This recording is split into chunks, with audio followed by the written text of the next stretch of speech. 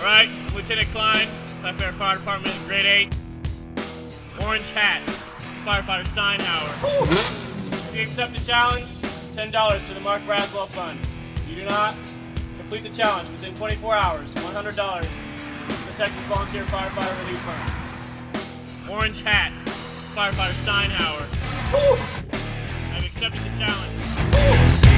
And in turn, I call out paramedic Blair Rain, Fire Department, Kenneth Gage, EO, HFD, Station 97, Cyfair Firefighter, Trevor Wright, Captain, Cyfair Fire Department, Chris Moon, 1002, Station 6, Cyfair Fire Department, Steve Enfield, Captain, Station 12, Cyfair Fire Department.